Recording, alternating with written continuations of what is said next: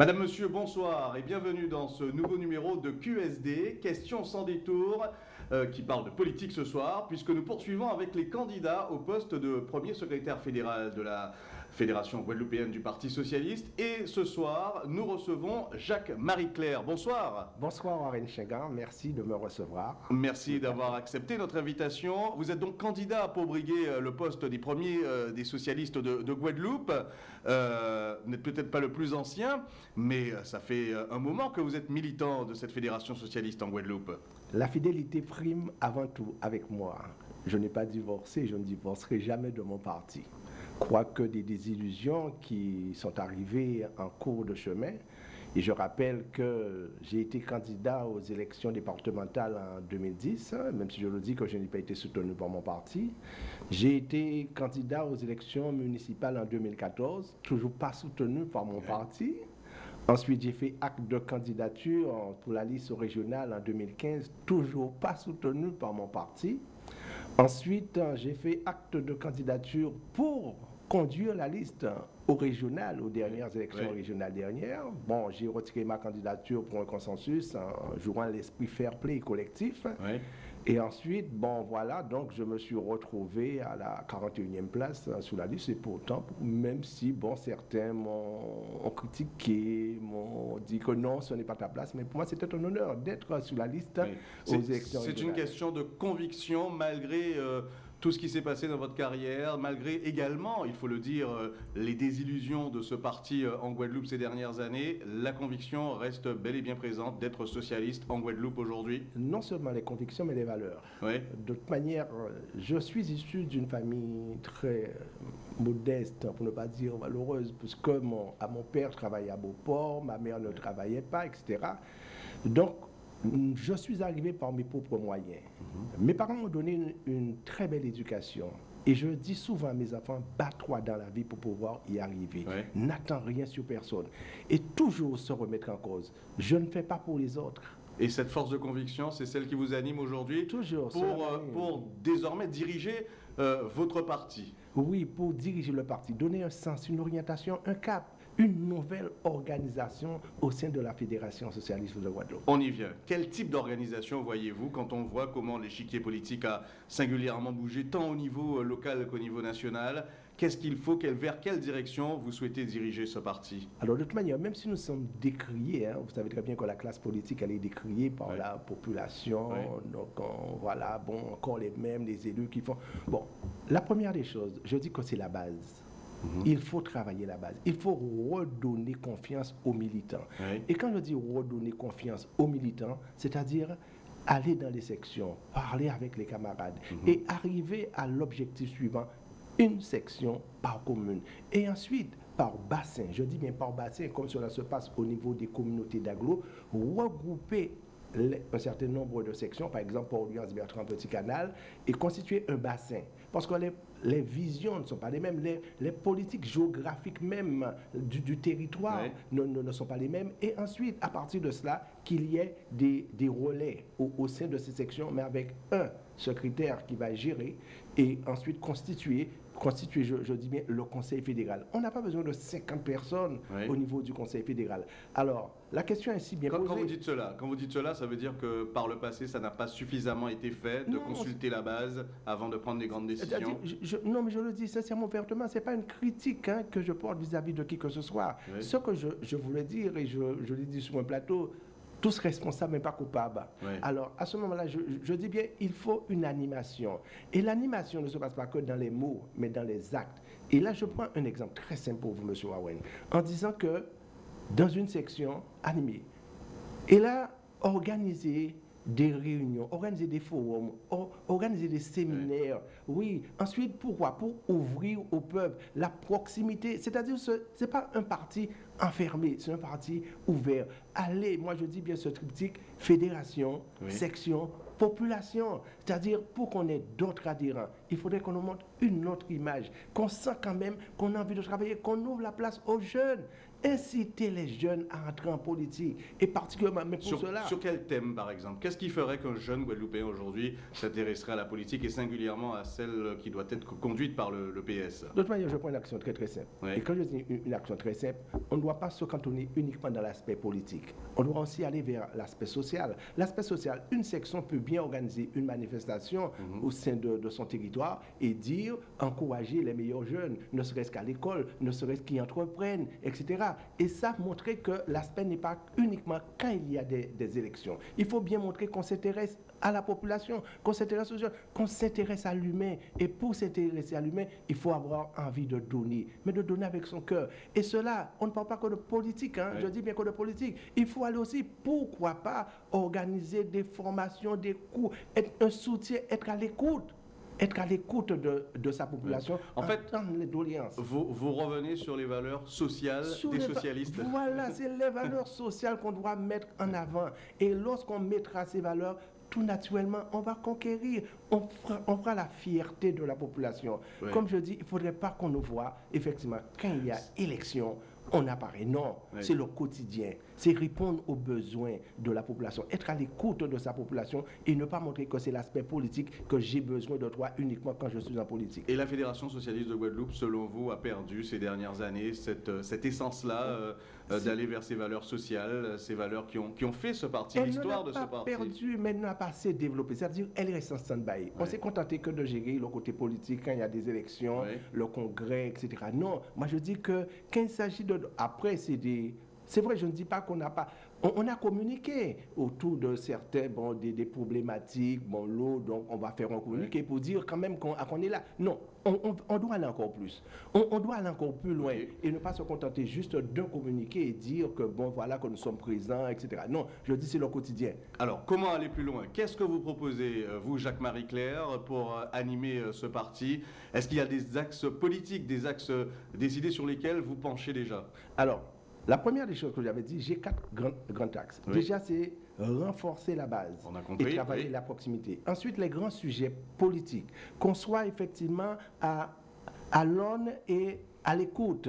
Ensuite, autre chose aussi, c'est se positionner. Se positionner aujourd'hui pour se dire si on est pour la collectivité unique, si on est pour l'Assemblée unique. C'est vrai que le parti, depuis 2010, s'est orienté vers l'Assemblée unique en disant que donc on a évolué. On n'est pas resté là fermé dans nos idéaux, donc on, va plus loin. Mais pour tout cela, la base même, quand je dis la base, non seulement les militants, il faut une organisation administrative. Si on n'a pas d'organisation administrative, on peut dire oui, pendant les élections arrivent, on va défendre le candidat ou bien on va... Non, organiser en interne déjà qui fait quoi. Ce ne sera pas un fédéral seulement qui va diriger, c'est un ensemble collégial qui va pouvoir diriger avec un corps exécutif. L'architecture du parti, il doit être refaite euh, entièrement. Absolument, absolument. Non, je le dis, non. Et c'est où je dis qui fait quoi. C'est-à-dire, ce n'est pas un fédéral qui vient, qui fait une réunion aujourd'hui, qu'on décide, etc. Non, il y a une commission administrative, comme je le dis, il y a une commission politique, exécutive, et derrière, on prend les décisions. Et ensuite, on rassemble tout le monde, je dis bien qu'on rassemble tout le monde pour porter l'information. Donc il faut cette organisation administrative au sein même du, parti avant, comme je, viens de dire, avant d'aller voir tel parti pour tel, euh, lorsque les élections arrivent. Non, organisons-nous en interne. Il faut une organisation en interne et présenter cette organisation. Ça, c'est le deuxième axe. Vous aviez parlé de, troisième, quatrième axe. Ah, quels sont-ils? Alors, déjà au niveau. Alors, après, c'est la formation. La formation des militants, ça c'est de base. Et quand je dis la formation des militants, le militantisme, on doit revenir à cela. Et ensuite, quand je dis formation, c'est-à-dire quel que soit le militant, il a les arguments pour aller parler, pour aller, je ne pas convaincre, pour aller échanger avec la, population. Et, et, dans la foulée, je dis bien dans, dans, la foulée, pourquoi pas ne pas organiser la journée des sections, la journée des secrétaires, le, comment dirais-je, que nos élus, nos sénateurs, nos députés, etc., et ont une tribune. Hein, et il y, avait des universités d'été. Il y avait tout ça, mais organiser ça ici, en, Guadeloupe, que nous ayons nos propres universités. C'est là on doit aller et inviter toute la population à y venir. Alors, un parti s'inscrit également dans l'actualité de son territoire. Il y a des sujets qui nous concernent au plus haut point au niveau de la population. On vous avez parlé de l'eau, mais ça peut être autre chose aujourd'hui. Comment, quelles sont ces thématiques-là sur lesquelles vous souhaitez échanger avec vos militants? Qu'est-ce que vous proposez? Alors, de toute manière, c'est vrai que c'est récurrent. Le problème de l'eau récurrent, bon, déchets, transport, etc. Moi, je dis que... ce sont des problématiques, quotidiennes, de, la population. de la population. Moi, je dis c'est porter une véritable réflexion. Déjà, en autre, au sein même de cette fédération, et de dire que voulons-nous? Quels sont les sujets? C'est pas aujourd'hui on parle de l'eau qu'on va faire un scope sur l'eau. Non, voilà les sujets sur lesquels on va s'attarder. Une, feuille de route. Une feuille de route. Et c'est là, et dans cette feuille de route, on donne un, cap, une direction. Et comme j'ai présenté mon, à, mon projet, je dis c'est un projet sur 10 ans. C'est pas un projet pour venir, c'est une année, non, c'est sur 10 ans. Et on ira étape par étape. Et à travers ça, tous les problèmes qui concernent l'humain, qui concernent les Guadeloupéens, nous les traitons au quotidien. Moi, je dis que, bon, on peut aller même la problématique de, du, chômage des, à, des jeunes. Donc, tout ce qui concerne, comme j'allais dire, encore une fois, l'autosuffisance énergétique, les finances locales, porter des réflexions. Moi, je conçois très mal, je, vous le dis sincèrement, M. Warren que qu'un qu'un camarade participe à une élection municipale ou autre, qui ne sache pas, par exemple, qu'il n'ait pas une connaissance sur les finances. Par exemple, moi je dis qu'on devrait... Formation des militants, formation, des, élus. Le militant qui est Formation des candidats. Des candidats, quand ils partent à une élection, tout de suite, voilà. D'accord. Donc, et, c'est ça. Reprendre, les bases, oui, les, bases, même euh, du parti. Ah oui, les bases du parti. Et en plus, s'appuyer plus sur le social. Quand je dis social, ce n'est pas bon. Non, mais je dis vraiment ce, ce qui fonde le socle même de, de, de notre ADN. C'est le social. D'accord. En tout cas, euh, être au, plus proche de la société. on, a, de la société. On, a bien compris. Euh, un mot sur euh, l'émotion socialiste qui était présentée dernièrement au niveau national. motion fort, motion Geoffroy. Quelle a été votre participation à ce rendez-vous? Alors, de toute manière, moi, je, dirais que nous avons participé au niveau de ma section. les socialistes ont participé. C'est vrai que je dis que je n'ai pas le cachet, donc j'ai voté la motion fort. Mhm. Pourquoi j'ai voté la motion fort? Parce que de, au moment où le parti, je ne dirais pas était à la dérive, mais connaissait de grosses difficultés, donc on a trouvé quelqu'un qui a résisté, qui a tenu. Et les résultats, même au niveau national, ne, sont pas si, catastrophiques. Et moi, je dis, si effectivement, que le camarade Olivier Faure, maintenant c'est vrai, a su donner un cap, une orientation, il faut l'accompagner, sans pour cela dire que notre camarade Hélène Geoffroy ne faisait pas l'affaire. Loin, de là. Mm-hmm. Bon, je ne dirais pas que parce que c'est une Guadeloupéenne. Non, non. Je, je, dis. Le choix était politique, pas sur la personne. En toute âme et conscience. Et souvent, je dis que c'est ce que nous ne savons pas faire. Moi, je n'ai pas besoin de directeur de, conscience pour quoi que ce soit. Et pour moi, c'est, et c'est là j'aurais aimé que mes compatriotes mm-hmm. s'orientent. Quand il y a des candidats, regardez le programme, le projet. Est-ce que vous vous, vous, vous, retrouvez à travers ce projet-là? Mais souvent, on est pour l'homme.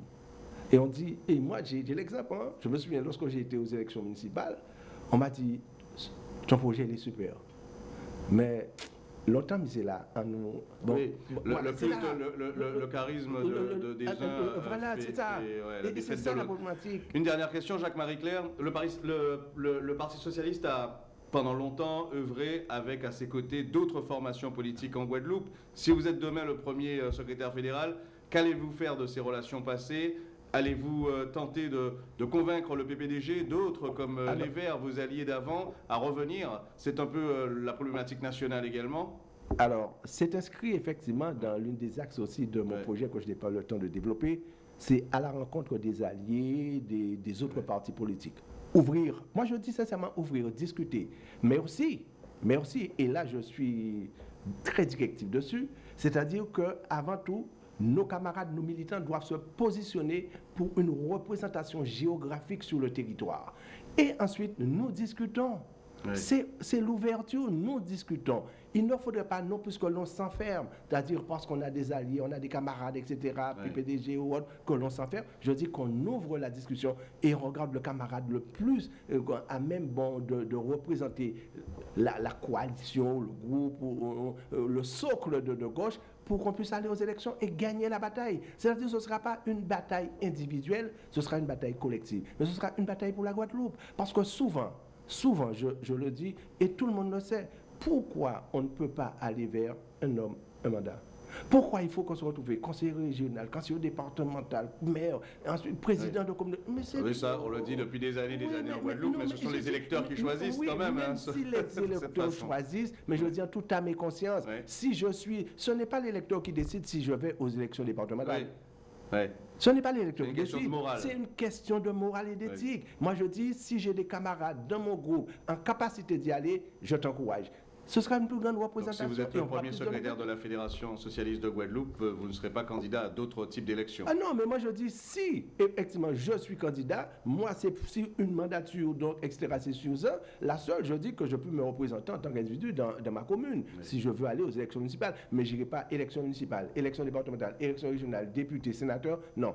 Il Parce que je dis qu'il oh oui, il faut d'autres personnes en politique, d'autres têtes, d'autres nouvelles figures en politique. Et les choses sont claires avec vous, Jacques-Marie Claire. Merci d'avoir accepté euh, ce rendez-vous avec nous. Alors c'est la raison pour, laquelle il y a Marie ensuite Claire dans, mon nom.